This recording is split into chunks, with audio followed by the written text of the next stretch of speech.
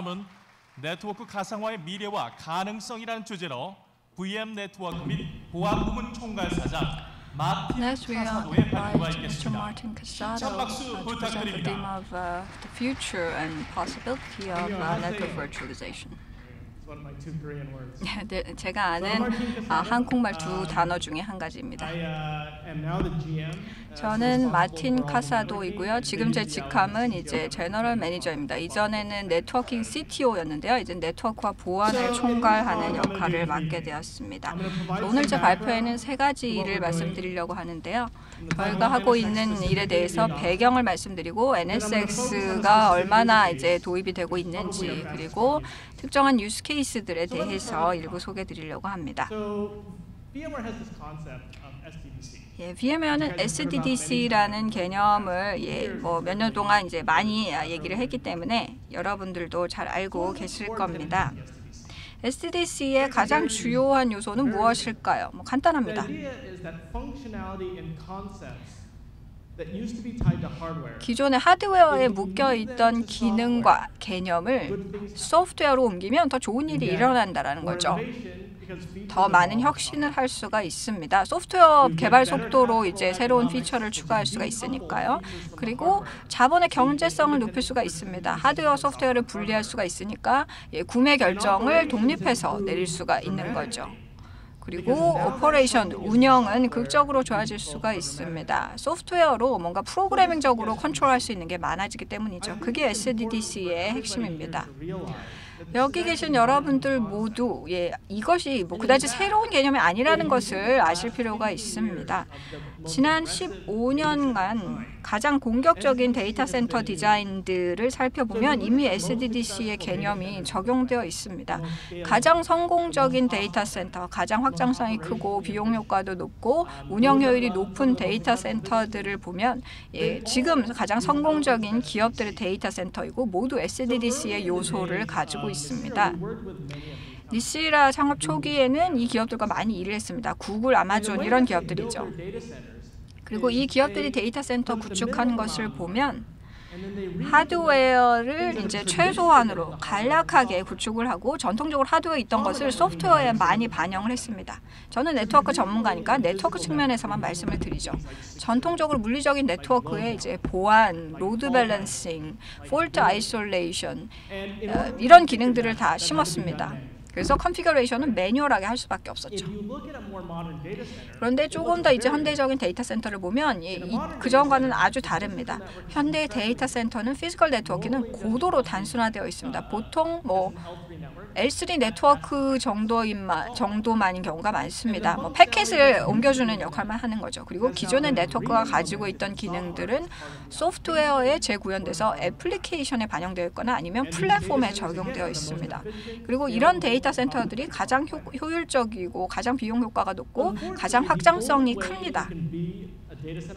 그렇지만 이런 데이터 센터를 구축하기 위해서는 애플리케이션을 완전히 재구현해야 됩니다. 그리고 이제 그 시스템 플랫폼까지 완전히 다 full control을 가져가야만 합니다. 그래야 경제성을 실현할 수가 있었죠. 그러니까 전통적인 IT 조직한테는 사실 이게 옵션이 될 수가 없었습니다. 근데 지금 벌어지는 일은 IT가 이제 두 가지 옵션을 가지게 된 겁니다. third party workload를 처리하는데 hardware defined 접근이 있고 그냥 전통적인 접근법을 이렇게 얘기할 수가 있는 거죠. 그러니까 기능이 계속해서 하드웨어에 묶여 있는 그런 접근을 얘기하는 겁니다. 그리고 한 vendor가 모든 기능을 제공합니다. 실리콘 패키징 소프트웨어까지 다 제공을 하는 그런 경우입니다.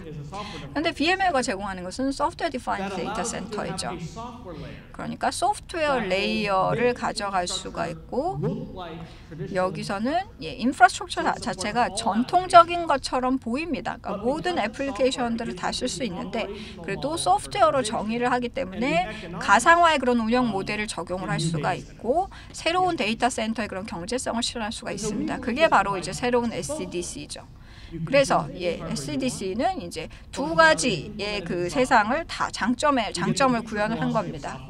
그래서 이제 그 하드웨어의 그 인프라 그러면서 소프트웨어의 가능성 feature들 그리고 이제 그 인터페이스나 이제 모든 애플리케이션 새로운 유형의 클라우드 애플리케이션이라든지 전통적인 애플리케이션 모두를 다 지원을 하는 것입니다. Now for the networking 그래서 high level에서 이제 새로운 접근에 대해서 말씀을 드렸고요. 그러면 NSX라는 것은 무엇이냐?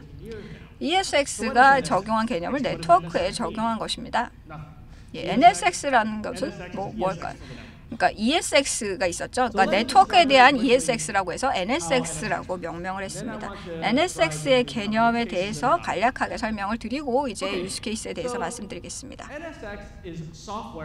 NSX는 에- 네트워크 엣지에 설치되는 서버 있는 서버에 설치되는 소프트웨어입니다. 그러니까 뭐 그 서버 가상을 생각해 보면 이제 뭐 v스위치 이런 거 이제 hypervisor 설치하신 거와 마찬가지죠. 그러니까 하드웨어에 대해서 변경하실 필요도 없고 하드웨어 configuration을 바꾸실 필요도 전혀 없습니다. NSX는 모든 서버에서 구동이 될 수가 있고 여러분들이 생각하는 네트워크 hypervisor를 그 위에 만들어 줍니다. 네트워크 hypervisor라는 건 뭘까요? 서버의 hypervisor라는 것은 서버를 하드웨어에서 소프트웨어 개념으로 바꿔 주는 것이죠. 그러면서 이제 소프트웨어로 가져갈 수 있는 운영의 장점을 실현해 주는 겁니다. 네트워크 하이퍼바이저도 마찬가지 개념인데 서버가 아니라 네트워크에 적용이 된다라는 거죠. 그러니까 virtual network를 추상화시켜서 정의를 할 수가 있습니다. virtual network지만 이 physical network하고 똑같습니다. 뭐 management interface, 뭐 L2, L3, L4에서 7까지 서비스를 지원할 수가 있습니다. 모든 애플리케이션을 지원할 수 있고 기존 management tool도 다 쓸 수가 있습니다. 그러면서 VM처럼 운영 모델을 가져갈 수가 있죠. dynamic하게 만들 수 있고 예, 프로그래밍을 할 수가 있고 뭐 키우거나 줄이거나 이동시키는 것이 자유롭습니다. 그래서 이제 virtual networking과 virtual compute, 서버 가상화까지 예, 접목을 한다면 아주 복잡한 애플리케이션과 복잡한 네트워크 topology와 서비스를 적용을 하는 것을 예, VM 프로비저닝과 동시에 하실 수가 있습니다. S3티어 웹 토폴로지를 구현하면서 load balancer, firewall. database tier, web tier까지 예, 버튼 클릭으로 쉽게 만드실 수가 있다라는 거죠. 그래서 이렇게 하는 목표는 기존의 IT 운영에 소프트웨어 layer를 더해서. 새로운 데이터 센터의 아키텍처 장점을 실현하는 것입니다. 저는 SDN을 오래 해왔습니다. 뭐 10년 정도가 됐는데요. 저희가 처음에 이 SDN의 개념을 얘기를 했을 때는 공상과학이라고 사람들이 얘기를 했었습니다. 그래서 처음 3년 동안은 이 아이디어를 설득하는데 온갖 노력을 집중했습니다. 스탠포드에서 만든 이제 모든 아, 페이퍼들이 다 거절을 당했죠. 그래서 이제 아이디어를 납득시키도록 하는데 시간이 좀 걸렸습니다. 그러다가 니시라를 창업을 해서 제품을 만들고 구글이나 아마존 같은 대기업들과 일을 하게 됐습니다. 그러고 나서 예, 점점 이것이 이제 적용 가능하다라는 것을 입증할 수가 있었죠. 그런데 이제 업계에서 이 아이디어나 기술을 받아들이기 위해서는 시간이 좀 필요합니다. 그래서 4년, 5년 이제 초기 구현 시간이 있었고 이제 product가 ready한 상태가 됐습니다. 최근에 2년 동안 VMware 인수되면서 예, 판도가 급격하게 바뀌었습니다. 아주 이제 미성숙한 산업인데 이제는 저는 충분히 이 산업이 성숙했다라고 봅니다. 그래서 이제 예, 이번 쿼터에는 여러분들 앞에 서서 네트워크 가상화 시대가 확실히 도래했다라고 말씀을 드릴 수가 있습니다. $100 million run rate business. 이미 뭐 1억 불 이상의 그 비즈니스 규모로 성장을 했고요. 예, 프로덕션으로 예, 구축된 사례들이 많이 있습니다. 상당히 큰 규모로 구축된 사이트들이 있고요. 지난 쿼터에만 예, 100개 고객사를 추가로 확보를 했습니다. 제 개인적으로 더 흥미로운 것은 예, 실제로 이 NSX를 도입하는 고객들을 보면 모든 산업을 망라하고 있습니다. 뭐 연방 공공 부문도 있고요, 금융 산업도 있고, 예, 뭐 enterprise 기업 대상 어, 기업도 있고, 이제 서비스 기업들, 스타벅스 같은 음료 기업들도 있고요, 제조사, 항공사들도 NSX 고객입니다. 그러니까 뭐 전통적인 얼리 어답터들이 아니죠. 뭐 이베이라든지 이런 기업이 아니라는 겁니다. 그래서 이 네트워크 가상화 산업이 빠르게 성숙화되고 있습니다. 저 개인적으로서는 뭐 공상과학이라는 얘기를 듣다가 이제는 예, 실질적 비즈니스로 인정을 받기 때문에 예, 아주 감개무량합니다. 그래서 이제 처음에 너무 바보 같은 아이디어다 새로운 제품을 만들고자 할 때는 이 사람들이 이걸 어떻게 쓸지 아이디어는 가지고 있는데 증거가 부족하죠. 그런데 이제는 구축 사례를 많이 확보했기 때문에 고객들에게 왜 이 NSX를 구매하고 사용을 하는지 말씀드릴 수가 있습니다. 저희가 이제 수백의 고객사를 대상으로 이제 NSX를 구매하는 이유를 어, 그 서베이를 해봤습니다. 첫 번째 이유는 예, 운영 스피드입니다. 말씀드렸듯이 네트워크를 박스와 하드웨어 개념에서 소프트웨어 개념으로 바꿨습니다. 그리고 완전히 자동화될 수 있다라는 것이죠. networking provisioning time을 거의 제로로 줄일 수가 있습니다. 뭐 새로운 고객이나 애플리케이션을 추가하는 것, 새로운 직원을 추가하는 것, 네트워크 서비스를 configuration 하는 것, 또 새로운 서비스를 deploy하는 이 모든 것을 자동화해서 예, 그 deployment 예, 예, 그 provisioning time을 제로로 줄일 수가 있습니다. public, private 클라우드 모두 연결을 할 수가 있고요. 네트워크를 운영하는데 예, 시간을 아, 극도로 줄일 수가 있습니다. 그리고 두 번째 이유는 경제성이죠. 예, 시장이 성숙하고 있다라는 그런 이 이유이기도 하- 그런 그 증빙이기도 한데요. 예, 초기 얼리 어답터는 그 가격을 기준으로 구매하지 않습니다. 리스크에 대해서 예, 비용을 산정할 수가 없기 때문이죠. 뭐 NSX를 뭐뭐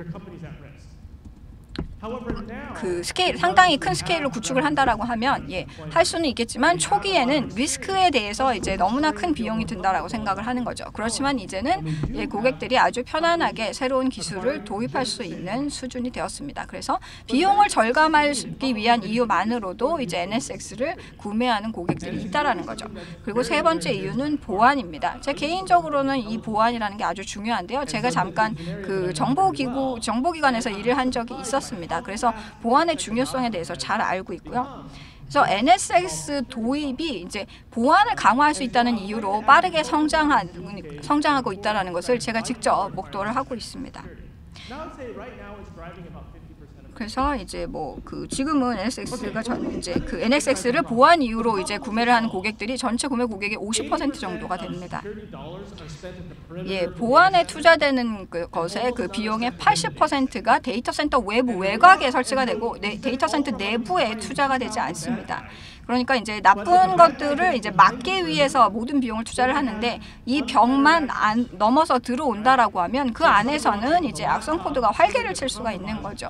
뭔가 랩톱이 악성 코드에 오염이 됐다라고 해서 그래서 데이터 센터 접속이 됐다라고 하면 이 악성 코드는 데이터 센터 내부에서 어디든지 왔다 갔다 하면서 이제 그 피해를 줄 수가 있습니다. 가장 최근의 피해 사례들을 보면 이제 뭐 언론에 보도된 사례들을 보더라도 대부분의 경우는 이제 그 어태커들이 이제 데이터 센터의 경계를 넘어서 내부로 들어왔기 때문에 피해가 커진 경우들입니다. 제 개인적으로도 경험이 있습니다. 제가 6월 29일이 생일인데요. 그래서 최근에 이제 38살이 됐습니다. 제 생일날 뭐 불과 몇 달 전이죠.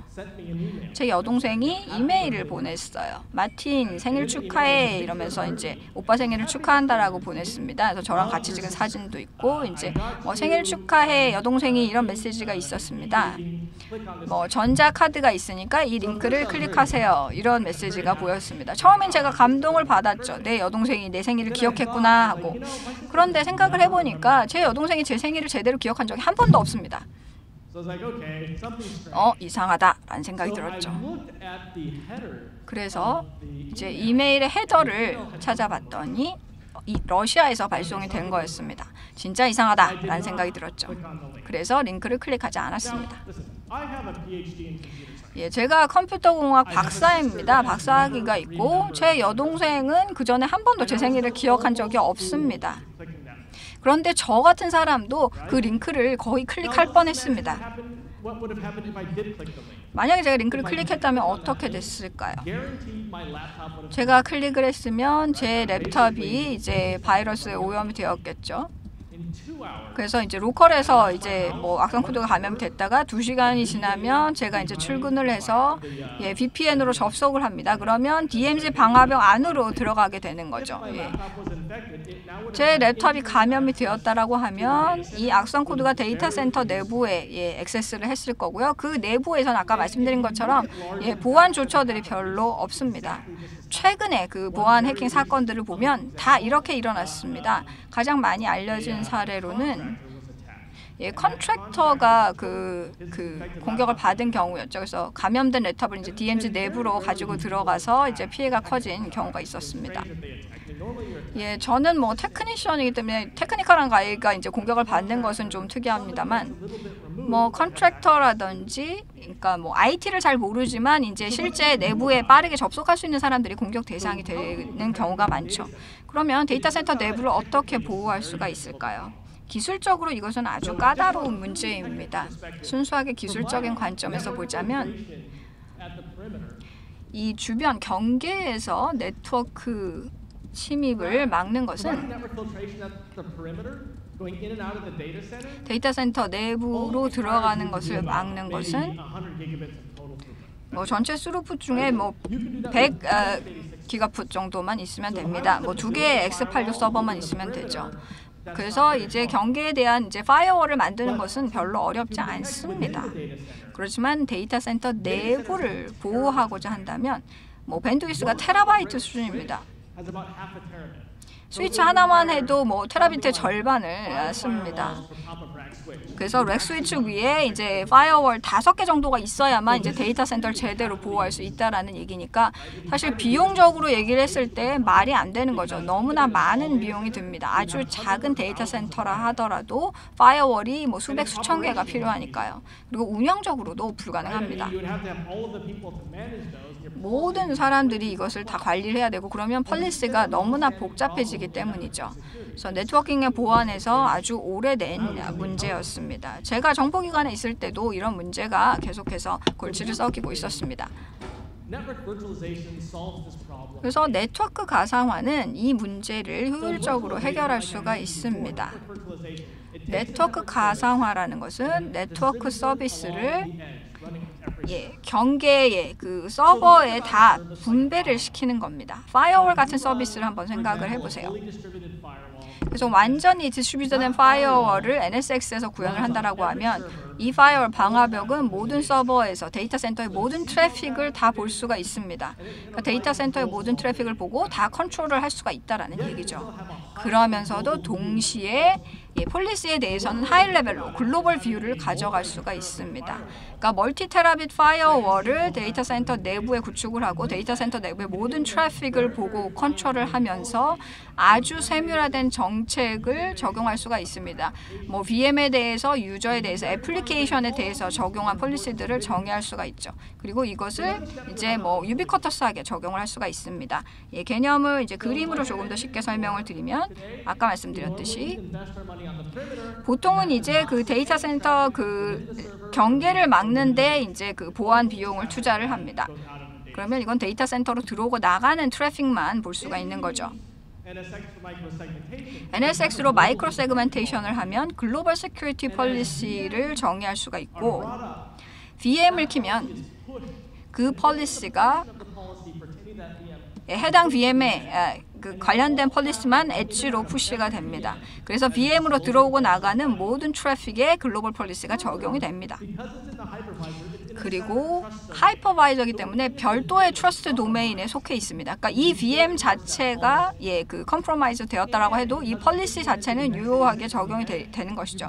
그리고 X86 위에 적용이 되었기 때문에 복잡한 네트워크 서비스를 예, 스위치로 못하는 복잡한 네트워크 서비스도 구현할 수가 있습니다. 그러니까 완전한 fully stable firewalling을 지금 top of the rack 스위치로는 구현을 할 수가 없습니다. 모든 flow에 대해서 tracking을 해야 되기 때문에 현실적으로 불가능한 거죠. 그렇지만 V 스위치로는 이것은 뭐 사소한 requirement입니다. Virtual. NSX로 구현이 되어서 virtual 인프라로 예, 구현이 되었기 때문에 모든 VM 이벤트를 support합니다. 그러니까 VM이 이동이 되면 fire policy, counter 관련된 state까지 따라서 이동을 합니다. 그리고 VM을 제거하면 policy도 같이 사라집니다. 뭐 추가적인 CPU를 잡아먹지 않도록 하는 거죠. distributed firewalling의 example을 간단하게 설명드렸는데요. 이 똑같은 개념을 확장을 할 수도 있습니다. partner ecosystem까지 확대 적용할 수가 있습니다. 그러니까 뭐 차세대, 팔로알토 네트워크의 뭐 firewalling, 뭐 McAfee의 그런 솔루션들에도 이제 연결하실 수가 있는 거죠. Rapid 7의 Vulnerability Assessment 이런 네트워크 서비스, physical world에 적용하는 네트워크 서비스들을 다 데이터 센터 내에서 이제 네트워크 가상화를 통해서 적용을 하실 수가 있습니다. 그리고 가장 예, 중요한 영역의 보안을 아, 그 설정할 수가 있는 거죠. 지금 현재로서는 설정할 수 없는 아, 영역에. 그렇기 때문에 전 세계의 모든 industry에서 많은 기업들이 네트워크 가상화를 선택하고 있는 것입니다. 그래서 micro-segment라는 아이디어의 핵심은 예, 그 확장이 가능하다라는 것이고요. 커뮤니케이션을 tight하게 통제할 수 있다라는 것이고요. 그리고 이 모든 것을 자동화할 수 있다라는 것입니다. 예, 그래서 보안과 관련된 예, 설명은 이것으로 마치고요. 예, 다시 한번 저희가 처음으로 돌아갈 필요가 있겠죠. Yeah, so just to step back, I think that we're finalizing now. That's right. So, 예, 이제 마무리를 할 수가 있어야 될 텐데요. 저희가 최종적으로 제공하고자 하는 것은 SDDC입니다. 저희가 EUC에 대해서 얘기를 했고요. Private Public Cloud에 대해서 얘기하고 일반적인 아키텍처에 대해서 얘기하고 마지막으로 네트워크 가상화에 대해서 얘기를 했습니다. 저희가 keynote를 때 항상 주제가 있는데요. 이번에 주제는 AND입니다. AND의 power에 대해서 얘기하고자 하는 것이고요. on-premise off-premise, 전통적인 앱, 클라우드 앱, 그리고 데이터 센터에서 뭐 디바이스, EUC 단까지 다 연결하고자 합니다. 이것으로 발표 마치 드리겠습니다. 감사합니다.